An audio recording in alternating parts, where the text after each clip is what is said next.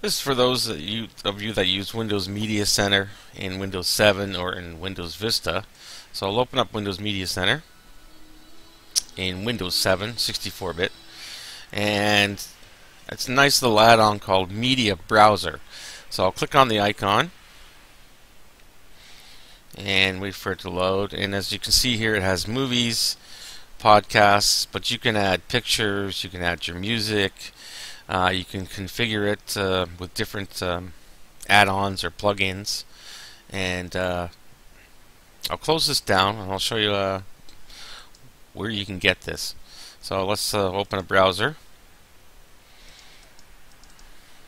And you can find it at media browser. Well, there it is already. Mediabrowser.tv. And then you just press enter to go to the site. And when the page opens up, um, yeah, it does a little transitional thing here to show you the different uh, themes and backgrounds that you can have. And as you can see here, it's got the um, Internet Movie Database rating and uh, it shows you the runtime, and you can choose different, uh, all kinds of different backgrounds. You can have cover flow. Um, actually, there, there it is. There.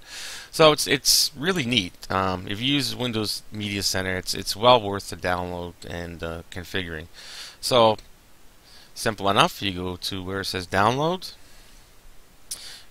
This is free for non-commercial personal use and the current version as of this video is 2.3.1 and you can even download the source code if you want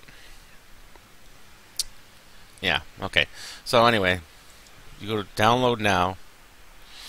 And that's the current release. Uh, I think they have other betas but best to get the current one. They have a checksum here. And there it is there. That's the final link and it's only 3.7 megabytes to download. So I already have that installed. Now what it does, it suggests that you open that to that you run media browser in a um, as a service when it starts up. I found that it works much better if you do that. So it's in the system tray here. I'll right click and here's the server itself. And it shows the uptime and last refresh and the next refresh I've scheduled for 2 in the morning. Um, and you can allow slow providers. And there's manual options to clear the cache, which you don't really want to do that much. Okay, and that's about it for this part. Usually you just leave it as it is if you you know just change the schedule if you want. And we'll go back down to the tray and this time we'll open up the configure button. And wait for it to launch. There we go. Okay. It opens up in its basic interface. You can select advanced, but basic is good to start with. And there's your media, and you can add a collection by just selecting add, and you can add anything from uh, your computer, like I said, your music, your photos, your movies, your home videos, um, whatever you have. Uh, you can enable podcasts, and from there you select add it's usually like an a, a feed like an RSS uh, address um, actually on the website they have a whole uh, precompiled list that you can download and insert right away.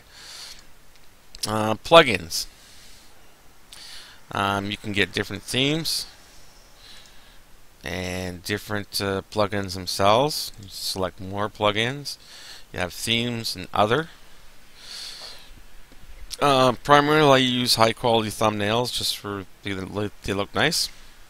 Media provider info, such as uh, about your media, such as codec, bitrate, resolution, and so on.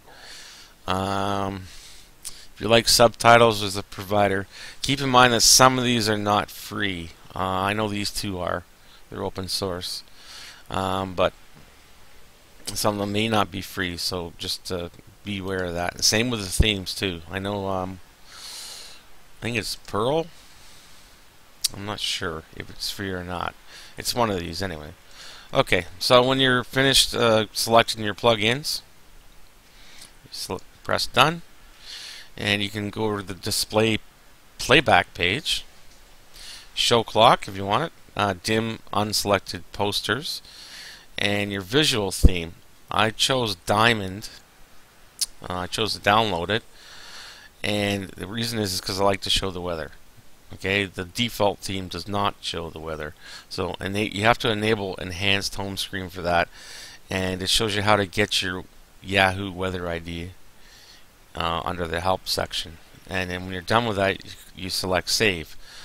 Um, under advanced there's uh, parental controls if you need to use those.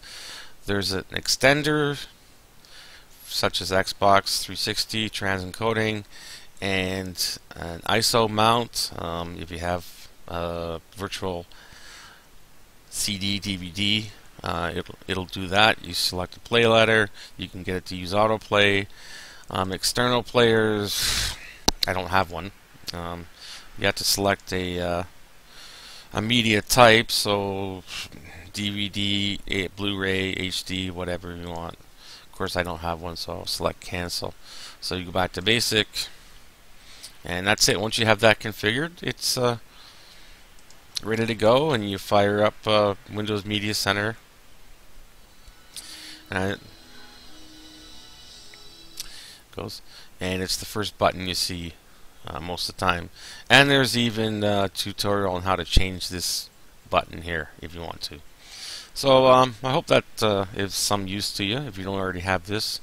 And uh, if you use uh, Windows 7 or Windows Vista Media Center, I'm pretty sure uh, it's uh, you'll find it very useful. And great, thank you very much for watching, and bye for now.